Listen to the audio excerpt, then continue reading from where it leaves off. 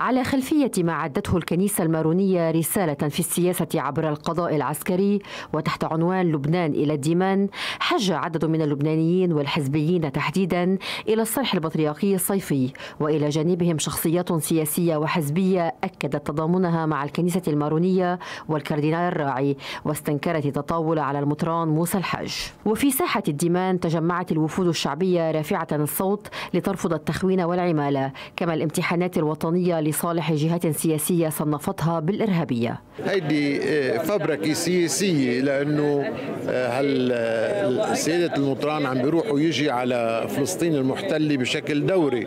لو ما يكون في خطة لإزعاج أو لإحراج الصرح البطريركي ما كانت صارت. وبنتمنى أنه هالحادث هيدا يمر. وحتى لا يمر بده ينحل وحتى لا ينحل ما لازم نضيعه بزواريه بالقضاء الكنسي والقضاء المدني والقضاء العسكري.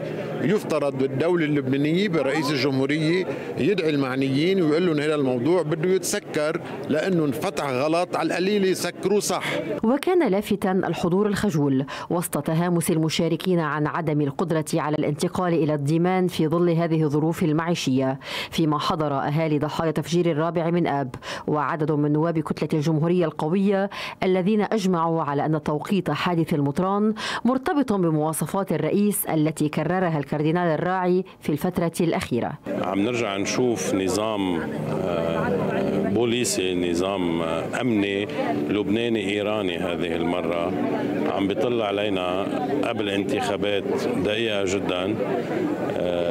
عم بيحاولوا يضغطوا على القوى السيادية في لبنان لإخضاعها كما تم بال 2004 كثير هالفترة شبيهة بتلك الفترة. وبفتكر أغلبية الشعب اللبناني لن ترضى إلا برئيس سيادي. يعني فليكن معلوما لدى الجميع.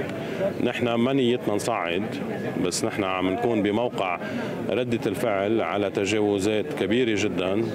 يرتكبها هذا النظام اللي فيه شق سياسي متمثل برئيس الجمهورية وحزب الله. إذا كان هذا الهدف هو استفزاز المشاعر حققوا هدفهم بس نحن لن ننجر إلى أكثر من ذلك. نحن نطالب مطالبنا واضحة.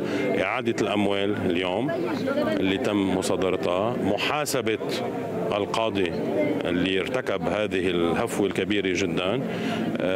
من عم نبحث اليوم بالقانون إذا تم يعني مراعاة القوانين؟ لأنه القصة أكبر من هيك. الأمر سياسي. امبارح سمعنا كلام من حزب الله السياسي عالي النبرة وعم بيقولوا لنا أنه لهم حامليننا 40 سنة.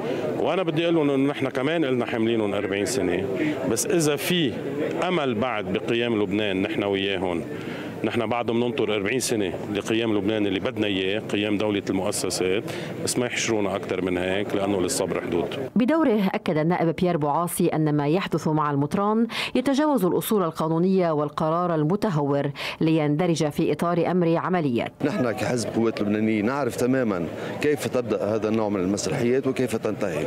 نضم صوتنا لصوت غبطة أبينا البطريرك ونطالب باستقاله القاضي فادي عقيق وبعد انتهاء القداس والعظة خرج البطريرك الراعي إلى الشرفة المطلة على الديمان وسط هتافات الحاضرين الرافضين الإساءة المباشرة والنهج الذي وصفوه بالمنحرف من قبل حزب الله والمنظومة التابعة له. جيتوا حتى حتى تعبروا عن رفضكم واستيائكم وإدانتكم للإهانة والشيء اللي صار مع أخينا المطران موسى الحج اللي هو مش بس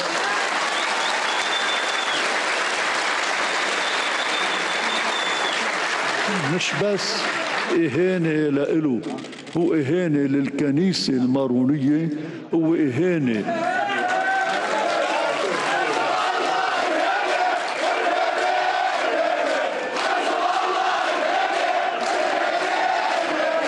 هو هيدي إهانة لإلي شخصياً. من طالب بتسليم المطران موسى الحج كل شيء وهيدي أمانة هو لازم يوصلها لأصحابها ولازم يرجعوها لإله اللي صادروها يرجعوها اليوم قبل بكرة وثم نحن منقول لهم ومنكرر إنه المطران بده يواصل كل هالمساعدات اللي كانت تطلب منه لأنه هيدي رسالته وهيدا دوره وعلى الرغم من كلام الراعي عالي السقف واعتباره أن ما حدث يشكل إهانة شخصية له سجل غياب نواب من المنطقة من الكتلتين الأقوى مسيحيا.